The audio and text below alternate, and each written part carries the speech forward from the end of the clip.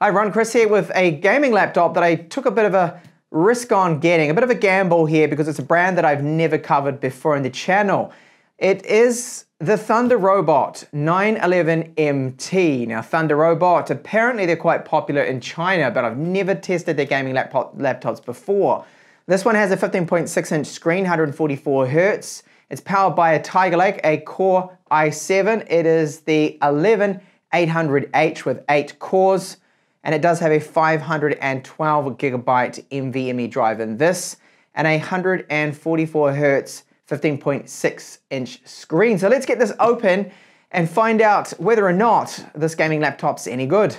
So it is factory sealed from Banggood. Normally they do actually open up a lot of the stuff they send out and not this time around. So when I bought it, it was just under a thousand euros, it was about 900 something euros, which I don't think is too bad of a price uh, considering the spec of it.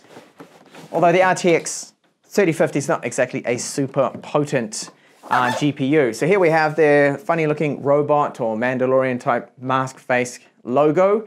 That is the, the robot guy there, obviously. And it, well, it doesn't have a seal right here, so we can get straight into this and take a look what we've got. So there it is, nicely padded, protected. And there's just a whole bunch of information about the laptop there that they have included. Uh, don't need really that, it's pretty straightforward here. So power supply, oh wow, I did not expect it to be this small. This thing is absolutely tiny. So this power supply 150 watts because the RTX doesn't actually need a lot of power. The RTX 3050 that is only needs about 75 watts of power. So that, oh that's all sealed there. Look at the size of it. Very good. So two power cables here. This is a UK one, UK plug, and we do have the Australian, New Zealand plug and the one they also use in China. But they have included adapters here for Europe and another one there for the US, which is great. And what else is in here? This, I don't know. Ah, removable battery. Okay, I did not expect this. I mean, look at how small that is. 41 watt hours. That's ridiculous for a gaming laptop. But normally gaming laptops, you use them plugged in, so that really doesn't bother me too much. But it's been so long since I have seen a removable battery in a laptop. So here we go. There's a bit of paperwork here and a blank plastic SD card if we needed that, and some screws. I'm not too sure why we need those screws, but that could be for adding an additional NVMe drive. I hope it does actually take a few more. So the weight of it, I'll check that out in a second. It does feel really quite light. I can see intake vents here along the bottom, okay? And a few up the front, downwards firing speakers either side. I'll give you a sample of how those do sound in this hands-on video. So the lid here, this is brushed metal look to it with the logo again, which doesn't look too offensive there. So let's lift this up, take a look at the keyboard. Now this keyboard looks very similar to ones I have seen, say from uh, Clevo or the Sager machines, Tongfang, similar kind of layout. This is an RGB keyboard too. So just an initial first look here at this keyboard. Layout doesn't seem too bad. So this is the US ANSI layout, shift key on the left here, a little bit larger. Now pressing down around the K and L keys and even around where you'll be using it for the gaming, the WASD keys there, it's got a little bit of flex to it, definitely if I push down really hard. Bit spongy here, right in the middle, around the H key actually, and full size number pad there too. So this is a textured material to imitate metal on the palm rest, but no, that is definitely not metal. This is plastic right here. It's just the lid that has the metal. And the touchpad size doesn't seem bad. Clicky, cheaper feeling kind of left and right mouse buttons. A lot of stickers on it, you can see. So the 11th gen Core i7, and we've got the GeForce RTX, Sound Blaster 6 Cinema sticker there too as well, and Windows. And our screen here, so we've got a 15.6 inch 1080p panel on this 144 hertz. Camera up the top, I believe is HD. There's some little rubber pads here around the outside of the bezel. This bezel is plastic, it's matte. The hinge goes back, that's the furthest right there. Doesn't have a bad feel to it. Now, can you open it up one-handed? Uh, no, you can't, all right? A lot of people always ask me that. I don't know why, it's a bit of a silly question. And then we've got the Thunderobot branding right here. And the bottom bezel is huge. Left and right and top bezels, they're not bad. For ports here on the left, we've got an exit vent for the fans for the cooling on this. I'll go over the fan noise uh, in this video, or maybe if I do a full review. Kensington lock slot, USB 3.1, and we do have USB 2. Separate audio jacks there, 3.5 millimeter. And ports on the back, so the barrel DC in for powering it, of course. Gigabit LAN, HDMI 2.0, so not HDMI 2.1, which is a shame. Display port, which is mini display port, this one, 1.3 spec, so it's 4K 60, and here is an exit vent. This is not actually an exit vent at all. This is just for aesthetics to make it look the same that we've got one either side because of course the battery is right here. That's venting nothing. Now, what about the weight? It actually feels not too bad for a gaming laptop. And I'll just measure it. Total travel weight, of course, so here we have about well, 1.9 kilos, I think, for the spec of this laptop. That's not too bad, but that is not our total travel weight, of course. The tiny little power supply plus the power supply cable brings the total travel weight up to then 2.4 kilos, which is, well, that's kind of standard, I think, for a 15 inch gaming laptop. Now we're talking here with upgrades, very good with this particular laptop. So we can swap out the wireless card. You can add an Intel AX201, which I highly recommend. Add a 2.5 inch spindle or SSD drive. And you can add an additional NVMe right here. So that means we can add an additional two drives, which I really like to see. This is great. And this is probably why we have such a tiny battery in this because they've added the 2.5 inch drive, which now we don't normally actually see. So you can also swap out the RAM very easily. Both of the SODIMM slots are right here. And our copper transfer pipes here. So we've got a traditional setup here. It's not vapor chamber. They're not using liquid metal. Thermal paste is on here. So right here we have our CPU. I can just see it. This is that 11800H, the eight cores. This right here is the cooling side for the GPU, which is that RTX 3050.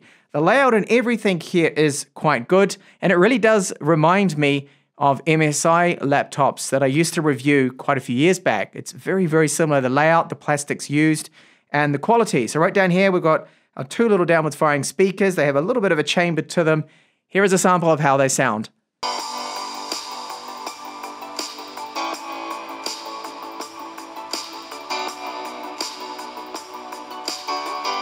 Okay, so nothing amazing, standard really laptop speakers. They are lacking in bass and these ones aren't that loud. They could definitely be a lot louder. And our BIOS here, so it is using an Insyde BIOS which has the visual BIOS presentation here at the front here. It's called the H2 BIOS and under setup utility, there's our, well, administrator, secure boot stuff you can do here, boot from a file, boot manager, but I'll go into the setup utility and hopefully we're going to get some of those typical advanced settings here. You can see there the processor, so the i7 11800H. So that's got a maximum turbo of 4.6 gigahertz and 8 cores. It's quite potent and I'll show you benchmarks of that shortly. Uh, under advanced settings, this is the one I want to take a look at, advanced chipset control. So there hopefully is going to be a few things we can tweak in here. Uh, not really. AC fan control disabled. So flexi charger disabled. Okay, so it can charge over the USB ports, I guess. Oh no, hang on. Flexi charger to enable over time the battery meters reading accurately deteriorate. So what that, that is doing is like other manufacturers like MSI that hopefully doesn't fully charge the battery. So that's a handy thing because it's got such a tiny little battery in here. Uh, AC fan control, what's this about? That's all disabled. So really not a lot that we can mess about with in here, basically nothing. So that's a little disappointing that the BIOS does seem to be locked down to us. Get out of this and we'll jump into Windows. Now the memory on this one, dual channel, it is running at 3.2 gigahertz, and of course you can upgrade this SODIMM slot, so you could add up to 64 gigabytes if you wanted to in this particular machine, and Windows 10 Pro and it does have proper activation. So it is a digital valid license that they are using with this. So that is another positive. Now the screen so far, this is just first impressions for what it is, it's not too bad. Now, I need to measure it, of course, the color, gamut, coverage, and brightness and everything. But so far indoors, it is looking like it's living up to that 300 nits. And the coverage and all that, I will need to cover that, of course, probably in another video. If there is interest in this particular laptop, there is. So under Device Manager here, just wanted to point out a few other things, and that is that the disk drive, so this one, the SSD, PCIe 3 spec, I'm not too sure if this slot's actually going to support PCIe 4, which of course the chipset does. Uh, I don't know the brand of it because it's a Triple S TC CL1 512 gigabytes. And these are the speeds of it. So it's okay. I mean, this is definitely a lot faster than SATA 3. However, it's not the fastest PCIe that you will find out there, but I guess for the price of the system, it's to be expected. Now, a wireless card here. We've got the wireless AC 9560 Okay, so not wireless AX, but you could swap that out and install, for example, the AX201, which does have Bluetooth 5. That's well over gigabit speeds, that card, and I do highly recommend it if you want to improve on your wireless speed and performance. The LAN port gigabit, that's Realtek. And of course, the processor, that shows up 16 times because it's 8 cores, 16 threads. So yes, it's quite a monster and I do have a couple of benchmarks for you. So the Cinebench score here R23, no tweaks to power limits, no undervolting either. We're getting just over 10,000 points, which is 10,607. Now, if you do undervolt, I know this from my MSI that I own with the same chipset, you can sometimes get up to around 13, even 14,000 points with faster RAM timings as well, which this doesn't have, I believe it's running CL22, so it's not exactly amazing. You could swap it out, put faster RAM in, really boost up those speeds. And just here is our Geekbench 5 score, which is solid. I mean, look at that multi-core score. That's nearing up to 10,000 points. Highest I have seen is over 10,000.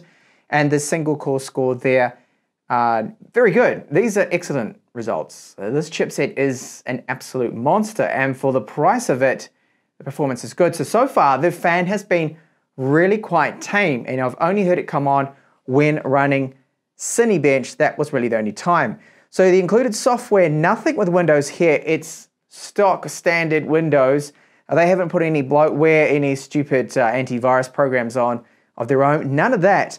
But if you want the control center and control of the keyboard lighting, RGB colors, then you do need to go onto their website and download all of the drivers here, which are under their website, which is thunderobot.com. Now I decided to see how far I could actually push this chipset. I've overclocked and undervolted it a little bit with Intel's XTU. And right here I've got a Cinebench score of over 14,000 points. And yes, the minimum test duration is off because I wanted a quick test. I don't want to have to wait 10 minutes every time I tweak these settings.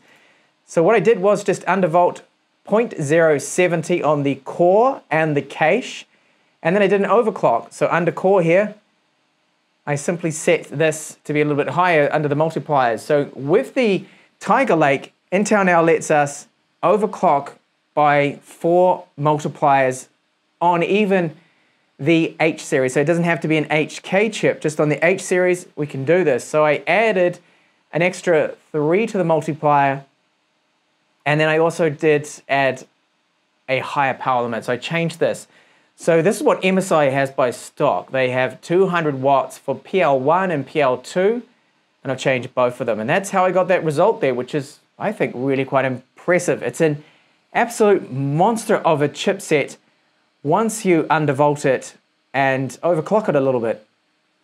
And a quick 3DMark benchmark here. This one's Time Spy just to really see what that RTX 3050 can do. Thermals when gaming seem to be great, and I'll show you the end result of this, but also a little bit of gaming too. All right, just finishing up now, let's have a look. Okay, so very good CPU score there, graphics score almost 4,800, uh, which is not too bad there, and then the total score for an RTX 3050. You gotta remember, this is the low-end 3000 series card for laptops. That's not actually too bad. Then the Firestrike score, so this is just the normal Firestrike. We get almost 12,000 points here, which is, again, not bad considering it's an RTX 3050. And then some actual games. So this is Shadow of the Tomb Raider, and you can see so far stable, good playable frame rate at the high setting. And the thermals are good. It normally stays around 75, mid 70s when you're gaming. Let's take a look at the end result. 78 average frames per second on the high setting preset. I don't think that's too bad at all. So it's a capable 1080p gamer, but let's step it up now to Cyberpunk 2077. All right, so this is actually looking pretty good. 80 frames per second, medium preset, and I do have it set to uh, DLSS on, on the auto preset. So 60 frames per second. But being able to play a demanding game like this with a, well, a playable frame rate here is looking very, very good. So just get out of the car, quick little run around. Nope, no, I don't want to be in that mode, hang on. Good, very good. So yes, as mentioned before, it is a capable 1080p gamer here. That's all you plan to do. If you do connect this up to an external monitor and you want to run, say, a 1440p display, because of the 4 gigabytes of RAM, I do believe you might run into some performance issues, uh, especially with a game like this one right here. Now, I did break out my Spyder 5 Pro to take a look at the screen, and it's not a very good screen at all. In fact, it's terrible. Adobe, you can see here, 46% coverage. That's not good, so not for professional use. And what about the other levels here? So NTSC, that is 44%, and then we have 62% sRGB. Ouch. So the 144 hertz is great, but then the color coverage of this panel, terrible. Maximum thermals are 92 degrees Celsius. Ambient temperatures in this room currently 25, 26 degrees here. So it did actually trigger thermal throttling and it pulled in total the maximum system power, well, from the chipset power, package power here, about 95 watts. So they do have a higher power limit set there. And if you can tweak that with Intel's XTU, you could probably boost up the scores a little bit, but really we don't have any thermal headroom for this because it's already reaching 92 degrees C, which is standard and common really for this chipset in my MSI GP66 10UG model, it hits these temperatures. And the thermals, so gaming now, one hour of Cyberpunk. You can see just above the keyboard there, there's a hot patch which is getting up to around about 50 degrees Celsius, just near the power button as well. But the palm rest and your WASD keys, the touchpad do remain cool. Okay, so there are a lot of things I like about this particular laptop. Some surprises. I love the fact that we can put in a 2.5 inch drive. It takes another NVMe drive. Sadly, I don't have a spare PCIe 4 drive to test out if it's going to work in here because it does support PCIe 4, uh, the new chipset Tiger Lake. But the drives, I don't know whether the actual slot does. So if I find some time, I can rip it out of my Tower PC and put it into this and let you know in the comments. So build quality, while it is all plasticky, I don't mind the materials used on the top. I think the weight is okay. The touchpad's not too bad, but I wouldn't rate it as being amazing. Keyboard, good to type on, but a little bit spongy around the middle there. That's one thing. Now, if you want the RGB, you want to change the colors, you will actually need to install their software. So it comes with Windows 10 Pro. The screen, as I pointed out, 144 Hertz. Response time seemed fine to me, but the color coverage is bad. 46% sRGB, well, Adobe RGB, sorry, not great. All right, so for creators, professional work, editing photos, videos, no. You don't want a screen like that. You'd have to hook up an external monitor. Now, performance-wise for gaming, all 1080p games, gaming at 1080p, sorry, great. I think it's good. It's all playable frame rates. You could even play demanding titles uh, like Cyberpunk 2077 that I showed you, as long as you enable the DLSS, you get a very respectable good frame rate there. It supports the ray tracing. However, NVIDIA kind of crippled this card. Only four gigabytes of dedicated RAM. It should really have six. So that's where it comes to a bit of a tough area because the RTX 3060 is probably the graphics you want to get in a gaming laptop. However, most other gaming laptops that have that chip will have then only the quad core.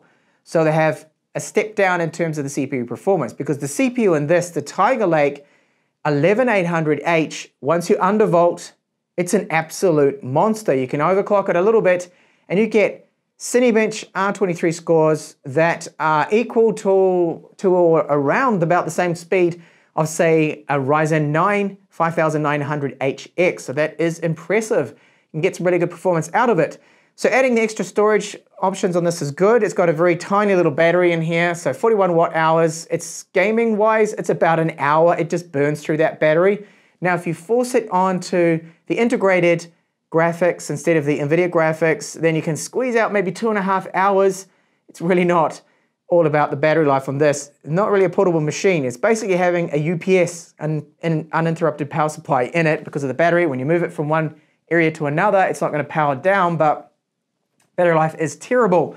So the quality, I think, overall very good. It is a Tongfang Clevo ODM machine that's been rebranded, and it's not too bad. So we've got the logo on the back here, the metal at least here, and the rest of the frame, the build quality seems fairly decent. I do like the materials they have used, this plastic on the top here. Even though it's not metal, it imitates it, it feels nice and smooth. Touchpad's okay, keyboard's good to type on. Pricing wise, so I paid 920 euros for this. If I'd spent an extra about 150 euros, I could have picked up, for example, the TUF T15, I think it is. And that's got the RTX 3060, was really the GPU you probably actually want, but it has the quad-core chip, a much weaker CPU, but still for gaming, I think it's adequate, it's fine or the Lenovo, the Legion 5. The Legion 5 is an extra about 400 or 350 euros more than this, but you get again, you get a very potent chip in it. You do get the RTX 3060 graphics, which is better than the 3050 here, which still I think for 1080p gaming, as mentioned, is perfectly fine. So I think not a bad laptop all up, but you probably might be better off getting that RTX 30 60 machine if you can with a 6 gigabytes of dedicated RAM instead of the 4. NVIDIA crippled it, but it is what it is. I do actually like this. The performance from the CPU is really, really good. It's an absolute monster, this machine. So thank you so much for watching this first impressions, well, basically turned into a review here of the 911 MT from Thunderobot.